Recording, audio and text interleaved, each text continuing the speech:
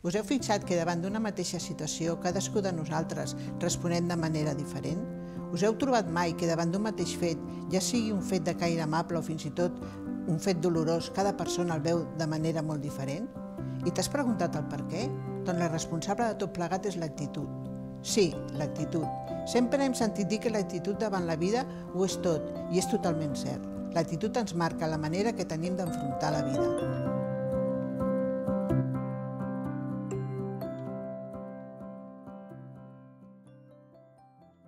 La vida la podem definir com una successió de situacions i circumstàncies que es van produint una darrere l'altra.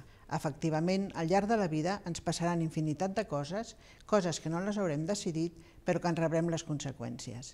Així dit, sembla que tenim poc control sobre aquestes coses, i és molt possible. És cert que nosaltres no podem controlar ni canviar el que ens passa, però sí que depèn de nosaltres com ho afrontem.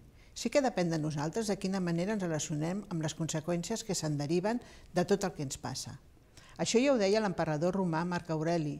Ell afirmava que si et sents dolgut per les coses externes, no són aquestes les que et molesten, sinó el teu propi judici sobre elles, i està en el teu poder canviar aquest judici ara mateix.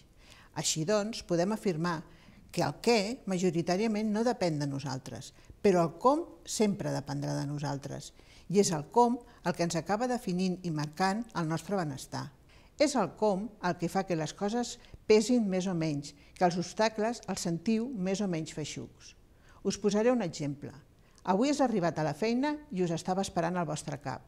Us comunica que l'empresa fa mesos que té pèrdues i no li queda altre remei que tancar. Us acomiada. El fet és dolorós, la realitat és la que és i no la pots canviar. L'important és com tu ho processes i el sentit que li dones. Només tu pots decidir de quina manera fas front a la situació, de quina manera et relaciones amb les conseqüències que se'n deriven. Pots decidir no fer res, quedar-te a casa i esperar que algú t'ofereixi una feina. Però pots decidir aprofitar aquest temps que tens d'atur per formar-te i adaptar-te a les noves necessitats del mercat. El que et farà actuar d'una manera o d'una altra serà l'actitud en què enfrontis el problema. I això sí depèn de tu. En cap cas, tenir una actitud positiva serà dir no passa res. Depèn amb quina actitud afrontes les coses, la percepció de la realitat pot ser molt diferent. Hem de prendre consciència que vivim en una societat on impera la negativitat, on normalment es ressalten les mancances i els defectes envers les virtuts. Des de ben petits se'n reforça en negatiu. Estem molt acostumats a dir-li a un infant «Andreu, si no t'acabes la carn, no anirem al parc». Fomentar una actitud positiva passaria per dir-li «Andreu, quan acabis, marxarem al parc». L'actitud és el resultat de les teves creences i valors.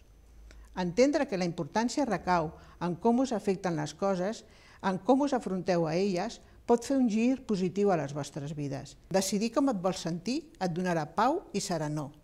Per millorar la vostra actitud davant la vida i assolir una actitud positiva que us afavoreixi com a persones, l'autoconeixement juga un paper molt important. Saber quines són les vostres virtuts i identificar els vostres defectes per tal de corregir-los i créixer com a persones és assumir responsabilitats. És prendre consciència del que voleu canviar i no centrifugar la responsabilitat del canvi als altres. Cada cú és el responsable de les seves actituds i, malgrat que pugui costar, es poden canviar. Per acabar, dir-vos que l'actitud és una petita cosa que marca una gran diferència. Si canviem la forma de veure les coses, les coses canvien de forma. Els fets no han canviat, però només canviant l'actitud, tot ha canviat. El poder està dins teu.